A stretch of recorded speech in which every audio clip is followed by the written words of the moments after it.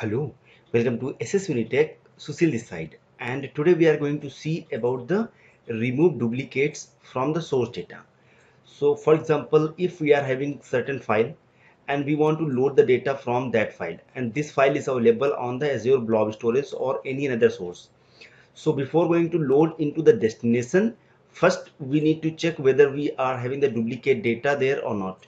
If we have the duplicate data there, then we should remove that data so let me see the source first. So our source as we can see this json file. So this json file is containing the information of the customer like the customer id then the first name last name city and enrollment date. So here as we can see for the id2 we are having the duplicate record.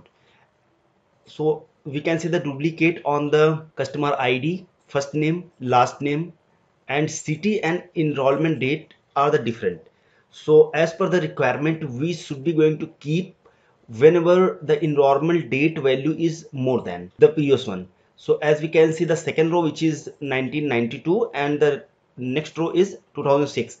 So as per the requirement, we should be going to keep this in the output. Similarly, if we can scroll in the downside, then we can see for the ID 9. Here we can see like everything is same except the enrollment date enrollment date is 1999 for the first one and second for the 1998 so we want to keep 1998 here. Similarly if we can check here for the id3 we have 2001 and 2006 so we want to keep the distinct data from here and should be as per the enrollment date in the descending order. So how we can do that? Let's see in the practical. So this file is available on the azure blob storage. So as we can see under the input folder of the container we have this duplicate.json file. So it is keeping the same information that we have already seen in the notepad so let me go into the azure data factory and we'll try to implement the same. So first we are required to add a new data flow here. So let me click on these three dots with the new data flow.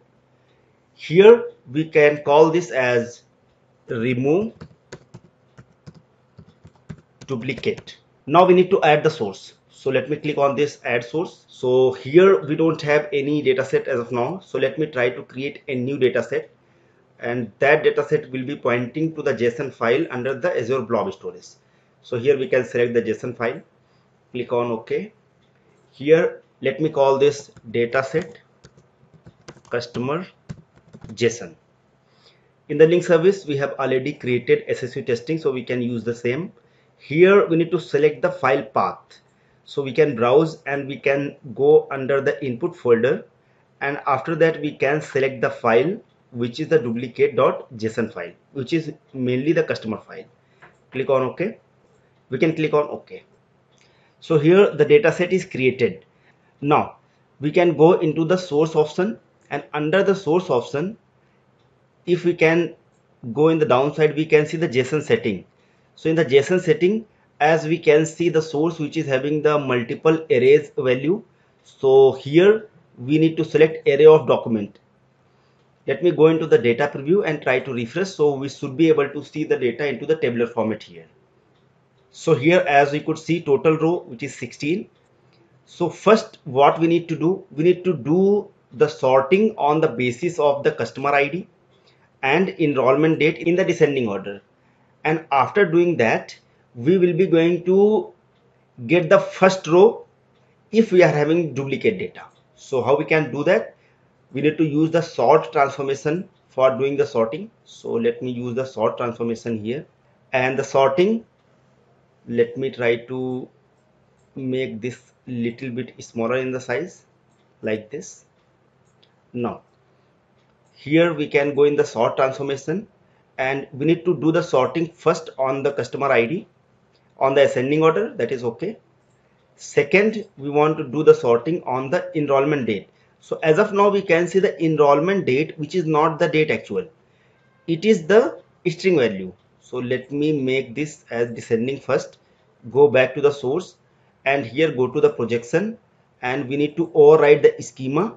And this is the date. So we need to replace this from string to date now go back to here go to the data preview and try to refresh so this time we should be able to see the data the first row of the duplicate records will be the maximum of the enrollment date for that particular customer ID. Similarly, if we can go in the downside for the ID 9, so 1999 is the maximum, so that is coming first. Second, we can scroll in the bottom side and here we can 2006. So what next we need to do? We need to use the aggregate transformation. So let me try to add the aggregate transformation here. So here first what we need to do like we need to specify the group by. So we want to group by on the customer ID only. So that is okay like the customer ID level we want to do the group by. Inside the aggregation what we need to do? Here we need to specify the other columns. So what are the other columns as we can see? So the column which is the first name, last name, city and enrollment date. So either we can use the maximum of all these or we can use the second option here for the add column pattern. So let me try to use the add column pattern. So the first way as i told you we can add the maximum for all these other columns. So that will be going to return the value. If we can use the column by pattern then we can also use that option so i am going to use the second one. Because the first method is very straightforward. We can directly add all the columns here and take the maximum. So in this option first we can see each column that matches. So like it is asking like how many columns we want to keep under this. So except the customer id we want to keep all other columns. What we need to do? We need to add all other columns except the customer id so name this is indicating all the column names. So we don't want to keep the customer id here. So that is the customer id like this. We don't want to keep this column in the output. We want all other columns. So that's why we have specified like this. Let me click on save and finish.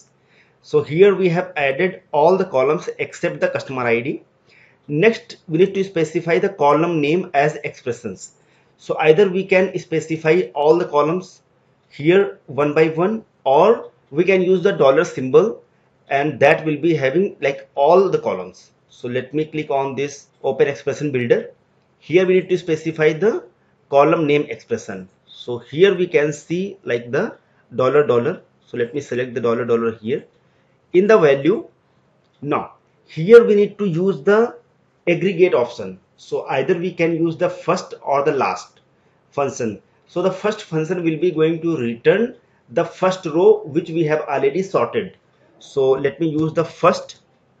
Here let me try to use the dollar dollar as well. So dollar dollar will be having all the columns. So let me save this.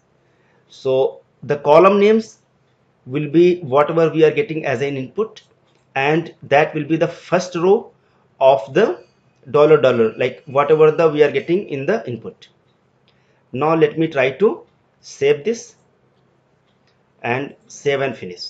So this will be going to return the output of the distinct rows. So let me go into the data preview and try to refresh it. First of all we can see the total row which is 13 so only 13 rows we are getting from 16 so we are having the distinct rows. And here the enrollment date that is 2k6 and similarly we can check for the id 13 that is 2k6 and here we can see for the id 9 that is 1999 so we are having the distinct rows as per our expectation. Now we need to load this into the destination. So let me add the sink here. So we need to add this into the destination of the SQL server. So here we can create a new data set or we can use the inline query. So I am going to create a new data set here and that is for the Azure SQL so let me try to select the Azure SQL database. Click on continue.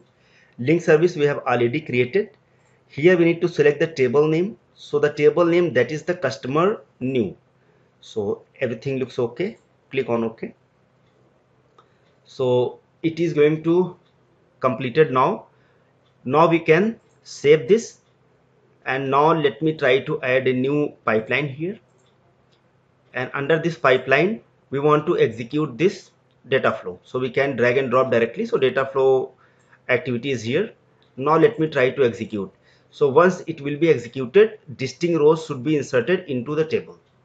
So it got executed successfully. Let me go into the SQL server. So here as of now we don't have any record in the table. Let me try to execute it. So we are having all the data. That is the distinct one. Thank you so much for watching this video. If you like this video, please subscribe our channel to get many more videos.